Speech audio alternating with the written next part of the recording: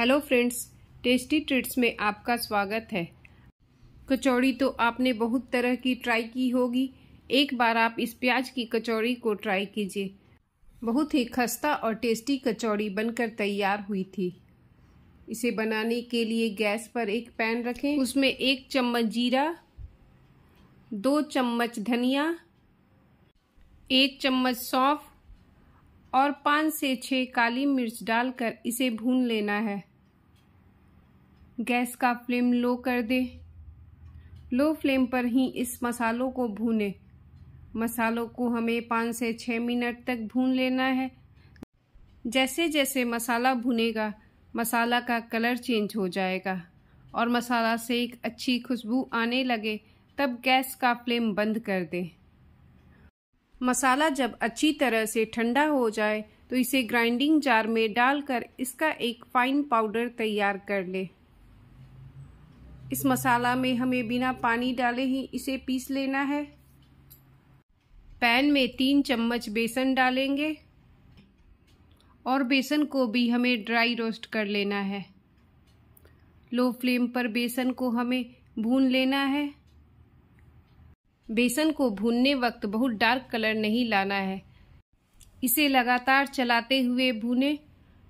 बेसन को भूनने में तीन से चार मिनट का समय लग जाता है। जब बेसन का कलर हल्का चेंज हो जाए, तब गैस का फ्लेम बंद कर दे। आज मैं प्याज की कचौड़ी बना रही हूँ, इसलिए यहाँ अधिक क्वांटिटी में प्याज लेनी है। मैंने यहाँ करीब सात प्याज लिया है। प्याज को मैं बारीक काट ले रही हूँ। साथ में तीन हरी मिर्च भी काट ली हूँ। गैस पर पैन रख देना है और उसमें एक चम्मच तेल डालें। तेल जब अच्छी तरह गर्म हो जाए, तब आधा चम्मच जीरा डालेंगे और जीरा को चटकने दें। उसके बाद कटी हुई हरी मिर्च डाल दें। साथ में कटा हुआ प्याज डाल देंगे।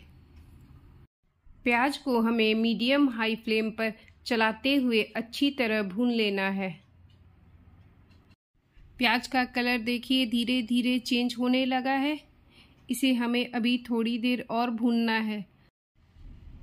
प्याज को अच्छी तरह भूनने के बाद प्याज में अच्छा कलर आ गया है। इसमें अब टेस्ट के अकॉर्डिंग नमक डालें। प्याज को मैं एक बार चला दे रही हूँ ताकि ये नीचे से जले ना। एक चम्मच भुना हुआ मसाला डाल दे और साथ में बेसन को डाल दे। अगर आपको स्टफिंग तीखा चाहिए तो थोड़ा सा लाल मिर्च पाउडर डाल दें। बेसन डालने से इस स्टफिंग में अच्छी बाइंडिंग आ जाएगी।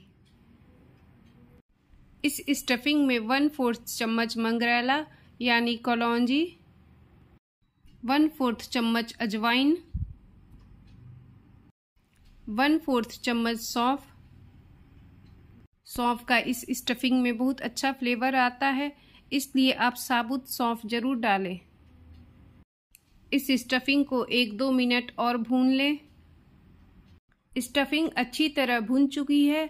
इस स्टेज पर गैस का फ्लेम बंद कर दें। स्टफिंग में आधा चम्मच आमचूर पाउडर डालें। अगर आपके पास धनिया पत्ता है तो कटा हुआ धनिया पत्ता डाल दें। आमचूर पाउडर को स्टफिंग में अच्छी तरह मिला देंगे। स्टफिंग को थोड़ी देर ऐसे ही छोड़ दें, जिससे ये अच्छी तरह ठंडी हो जाए। तब तक के लिए आटा गूथ लेते हैं। इसके लिए एक बर्तन लेंगे। इसमें दो चम्मच गेहूँ का आटा डालें। मैं यह कचौड़ी गेहूँ के आटा से बना रही हूँ। वन फोर्थ कटोरी सूजी। सूजी डालने से भी गेहूँ के आटा से बनी यह कचौरी बहुत खस्ता बनकर तैयार होती है। इसमें वन फोर्थ चम्मच नमक डालें थोड़ी सी अजवाइन और तीन चम्मच घी डालें। घी की जगह रिफाइंड भी डाल सकते हैं और आटा को हमें बिना पानी डाले ही अच्छी तरह मिला लेना है। इस तरह आटा को जब अच्छी तरह मसल कर गूथेंगे तो कचौड़ी बहुत खस्ता बनेगी। इसमें पानी डालते हुए हमें एक डो तैयार कर लेना है। आटा को अच्छी तरह मसलना है। जितना हम हाथों से मथेंगे, कचौड़ी उतनी ही अच्छी बनेगी। गुथे हुए आटा के ऊपर घी लगाकर आटा को रेस्ट करने के लिए रख देंगे। इधर स्टफिंग भी अच्छी तरह ठंडी हो गई है। अब इसके छोटे छोटे बॉल्स बना लेते हैं। इस तरह मुट्ठी से दबाते हुए इसके बॉल्स बना ले। स्टफिंग से हमें एक ही बार सारे बॉल्स बना लेने हैं। स्टफिंग से कितने बॉल्स बने हैं कमेंट करके ज़रूर बताइएगा। अब इसकी कचौड़ियाँ बनाते हैं। आटा को हमें फिर से एक बार मसल लेना है। जब भी रोटी या कचौड़ी बनाए, आटा को रेस्ट करने के बाद अगर मसल लेंगे तो रोटी या कचौड़ी बहुत सॉफ्ट बनकर तैयार होती है।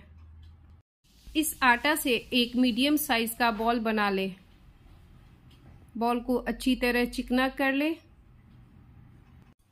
अंगूठा से इस तरह दबाते हुए हमें एक कटोरी जैसा बना लेना है। बीच में मोटा रखें और किनारे पतला रखें। इसके अंदर प्याज की एक बॉल भर दें। और ऊपर से अच्छी तरह सील कर दें। सील करने के बाद बॉल को चपटा कर देना है और फिर से अंगूठा से इस तरह दबाते हुए हमें एक कटोरी जैसा बना लेना है। इस तरह जब कोई भी स्टफिंग वाली कचौड़ी तैयार करेंगे तो एक भी कचौड़ी फटेगी नहीं और फुली फुली बनेगी। एक बार मैं आपको फिर से बता देती हूँ अंगूठा से दबाना है, बीच में मोटा रखें और किनारे पतला। अंदर स्टफिंग डालकर सील कर दे। स्टफिंग वाले बॉल को फिर से चिपटा कर दे और अंगूठा से दबाते हुए एक कटोरी जैसा बना लें। चार कचौरी की स्टफिंग हो गई है, अब इसे फ्राई कर लेते हैं। इसके लिए गैस पर एक कढ़ाई रखें, इसमें तेल डालेंगे।